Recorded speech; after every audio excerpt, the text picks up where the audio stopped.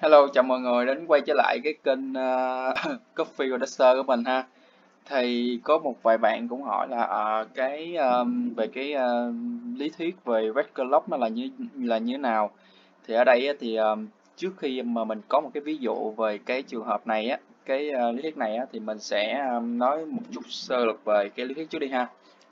Thì uh, mọi người cũng biết á, thì uh, red clock đơn giản nó chỉ là một cái vùng điểm mù thôi mọi người mình lấy ví dụ cho mọi người hung dễ hình dung ha. Thì trong mỗi con sóng nó tăng như thế này. Đây. Trong một con sóng nó tăng như thế này. Nó nó liên tục tăng như thế này. Đó. Rồi giờ nó lên lại đây. Không chưa? Thì á um, khi mà giá nó đẩy lên đây và đây là nó có một những cái phiên bán trước khi mà giá bị mua lên cao mạnh như thế này á thì ở đây á nó sẽ để lại cho mình những cái khối OB hoặc là uh, order block á. Đó nó có để nó có nó có thể để lại cho mình những cái khối này. Thì á vết cờ lốc đó là gì? Tức là những cái vùng nó nằm ở phía trên này. Đây. À, đây là đây là cái vùng ở trên này.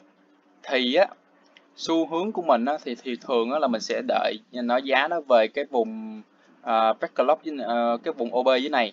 Đây thường xu hướng á, mình sẽ cân nhắc mình đợi giá nó về đây. Đúng chưa? À, giá vào đây thì sau đó mình sẽ cân nhắc là mình bay lên theo cái vùng OB dưới này. Thì lúc đó cái lệnh của mình á, nó sẽ đặt như thế này. Đây là mình nó sẽ đặt như này và mình target lên nó đỉnh này. Đây đây là cái lý thuyết về cái uh, đây là cái cách đánh theo OB. Nhưng mà có những cái trường hợp á, giá nó không thể nằm mà nó về cái vùng OB đi được. Là vì sao? Là vì nó gặp những cái vùng backlog trên này. Thì á ở, ở đây mình mình ví dụ cho mọi người dễ hình dung ha.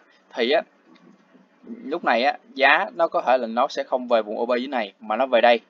Sau đó thì nó đi lên lại đây luôn. Thì á những cái lệnh mà mình đặt dưới này nè những cái lệnh mà mình đặt dưới vùng OB nè nó sẽ bị hụt kèo nó sẽ bị hụt kèo. Đó.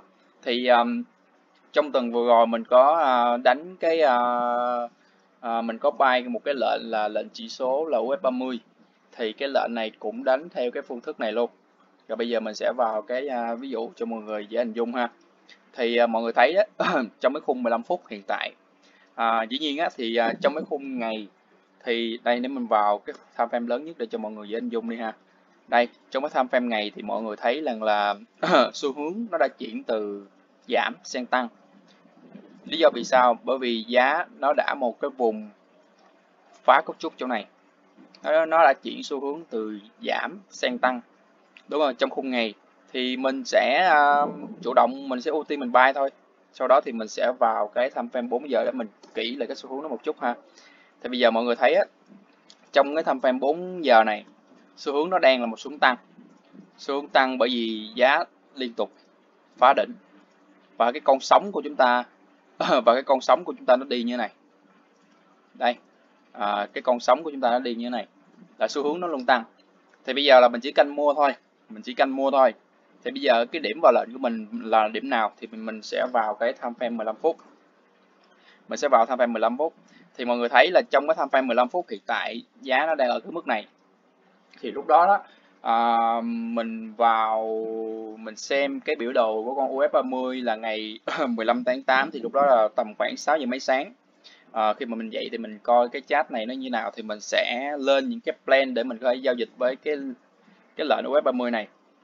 Rồi thì um, hiện tại là giá nó vẫn ở mức này. Thì á, như mình nói đó mình sẽ chủ yếu là giao dịch ở phiên Âu và phiên Mỹ còn phiên Á thì mình sẽ theo dõi thị trường.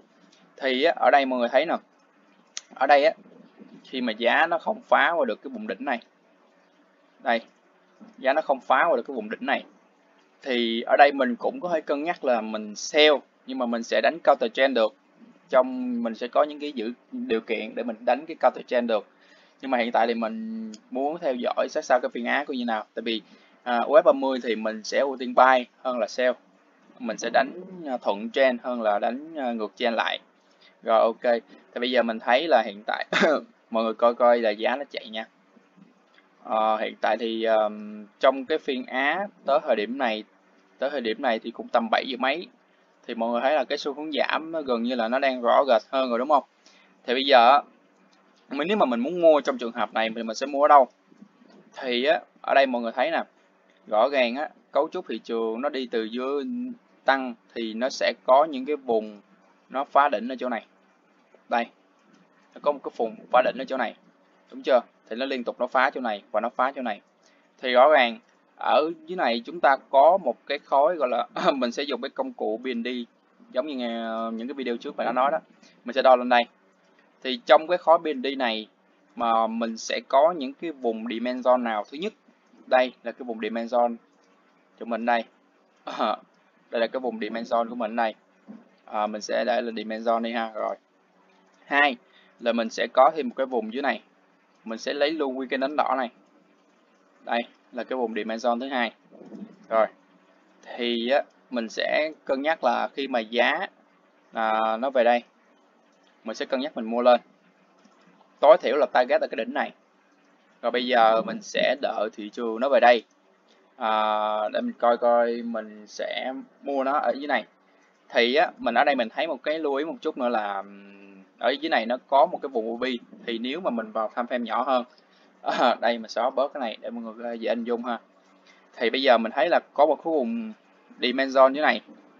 À, và cái vùng dimension này nó cũng nằm ngay cái khối gọi là khối Wecker Lock đây nếu mà mình chiếu qua đây thì nó là một cái vùng Wecker Lock tức là cái vùng phá đỉnh xuống đó. Đây thì mình sẽ cân nhắc là mua ở hai vùng này thì mình sẽ vào cái time frame 5 phút à, để mình coi kỹ hơn coi cái vùng này nó như nào. Rồi thì dưới này mọi người thấy trong cái tham frame 5 phút á trong cái tham frame 15 phút á, thì mọi người không không nhìn rõ được cái vùng OB nhưng mà trong cái tham frame 5 phút thì đây chính là cái khối OB của chúng ta. Mình sẽ refine lại. Đây chính là cái vùng OB của cái lô tham frame. Đây mình sẽ để OB cho mọi người anh dung ha. Rồi thì trên này á nhưng mà như mình nói đó đây tức là cái vùng à, uh, vector clock của mình thì mình sẽ ký hiệu là vector clock để cho nó dễ anh dung rồi bây giờ mình sẽ refine cái vùng vector này lại. Thì á, mình sẽ refine nó về cái cây nến này. Đây mình chỉ cần chiếu ngang qua đây thôi. Đây thì mình sẽ cân nhắc mình đợi nó về đây để mình giao dịch. Đúng chưa? Và như mình nói cái lý thuyết trên đó thì mình nghĩ rằng giá nó không về cái vùng OB này được. Tại vì á à, mọi người thấy là đây là cái phiên mua nó. Thì đâu là cái điểm mà giá nó nó nó, trước khi mà nó tăng mạnh lên thì đâu là cái à, đỉnh đáy gần nhất? Thì đây, ở trên đây là nó tạo cái đỉnh đáy. Theo mình nó là tạo cái đỉnh đáy. Sau đó nó tăng lên lại đây. Thì rõ ràng á, cái vùng OB này nó không còn quan trọng nữa. Thì cái vùng dimension chỗ này nè, nó mới là cái vùng quan trọng. Tại vì nó là cái phiên à, cuối cùng trước khi mà giá đẩy mạnh lên như thế này. Đẩy mạnh lên một cái vùng mất cân bằng như thế này. Thì á, rõ ràng mọi người thấy là ờ, ở đây mình cái hiện này để đi. Đây. Đó thì mọi người thấy là cái đáy này à, đây là cái đỉnh nè nó tạo đây cái đỉnh nè đây cái đáy nè cái đỉnh này tạo cái đáy này. Thì đây là cái đáy gần nhất và cuối cùng trước khi mà giá nó tăng mạnh lên như này. Thì và nó trùng với lại cái um, thứ nhất là dimension và cái web clock của mình. Thì mình sẽ ưu tiên mình sẽ bay ở đây và mình sẽ công mình sẽ không cần tham zone nữa. Tức là mình không cần đợi giá vào đây mình tham minh nữa mình có thể đặt một cái lệnh limit ở đây luôn. Rồi thì mình sẽ xóa cái vùng này đi. À, để mọi người dễ hình dung ha. Thì uh, ở đây là cái đỉnh thì cái đỉnh này thì dĩ nhiên là mình mua thì tối thiểu là mình sẽ target lên cái đỉnh này. Rồi mình sẽ xóa này đi cho mọi người dễ hình dung. Này mình sẽ kéo lại cái này cho dễ nhìn ha. Rồi ok. Ở đây thì á bây giờ mình sẽ mua ở đây. Thì mình cũng sẽ dùng cái công cụ à, 0,5 uh, giây của mình. Tức là cái công cụ như này. Đây. Đó thì mình sẽ đặt một cái lệnh lý mịch ngay chỗ này. Và dĩ nhiên thì stop loss của mình mình vẫn theo cách cũ nên mình sẽ nhân đôi cái cái, cái khối này lên. Thì mình sẽ đặt một cái lệnh mua ở cái vùng giá là 500 đến 510 cho đến là 530 này. Đó đây là cái vùng giá mua của mình. Đó thì mình sẽ đặt một cái lệnh là mình sẽ đặt một cái lệnh trên này đi.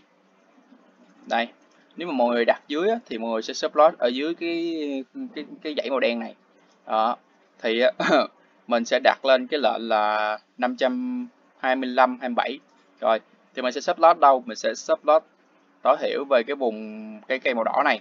Thì á nếu mà an toàn á, thì mình sẽ kéo stop loss nó về đây luôn. Rồi để cho cái mức gọi là an toàn. À, thì um, cái hôm đó thì mình có post lên nhóm những cái bạn uh, trong nhóm của mình. Thì mình có để kêu mọi người là để stop loss là tối thiểu ở cái vùng giá là 400 này tại vùng giá 400 này để cho nó an toàn nhất.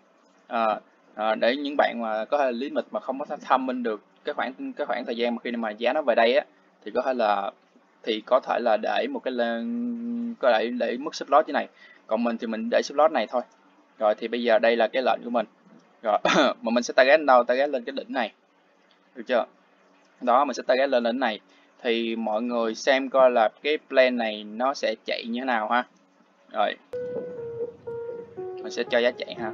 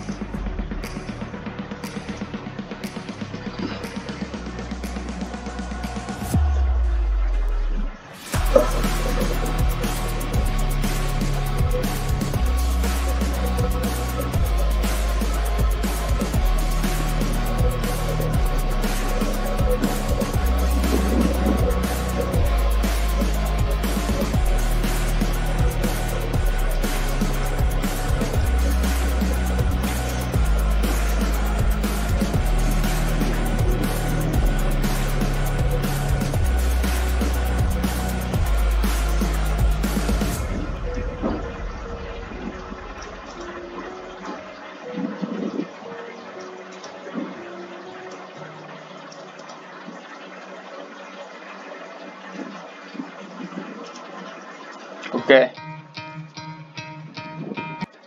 Thì rõ ràng là cái lệnh này ở đây á, thì mọi người cũng có cái chốt. Mọi người cái mà giá phá đỉnh này thì mọi người cũng có thể chốt được. Hoặc là nếu mọi người kéo BE sắp lên đây thì mọi người có thể là chốt ở điểm này. Còn uh, bản thân mình thì mình kéo BE ở đây thì khi mà giá lên đây nè nó chạm vào BE của mình. Đó thì ở khúc này thì mình đã đã chốt khoảng 50% lệnh rồi thì mình kéo BE để mình hô thôi. Trên này á, thì à, mình kéo BE nó hơi vội đấy. Thì cho nên thì cái lệnh của mình nó đã bị cắt thế này. Dĩ nhiên là cũng một phần cũng còn khối lượng mình đi. Nhưng mà tới đây thì mọi người thấy là cái lệnh này lãi cũng gần như là tỷ lệ GG nó cũng dường như là 19 rồi. Gần như là 19 rồi. Rồi thì đây là một cái ví dụ về Vectorlock để cho mọi người có thể uh, tham khảo ha. Thì cảm ơn mọi người um, đã xem cái video này. Thì nếu mà mọi người thấy thông tin thú vị cũng như là cái, cái kiến thức mà mọi người có thể là sẽ áp dụng được trong tương lai thì hy vọng là video này sẽ giúp ích cho mọi người. à, chào mọi người, cảm ơn mọi người nhé. À, nếu mọi người cảm thấy hay thì có thể là like, share và subscribe cho mình nhé.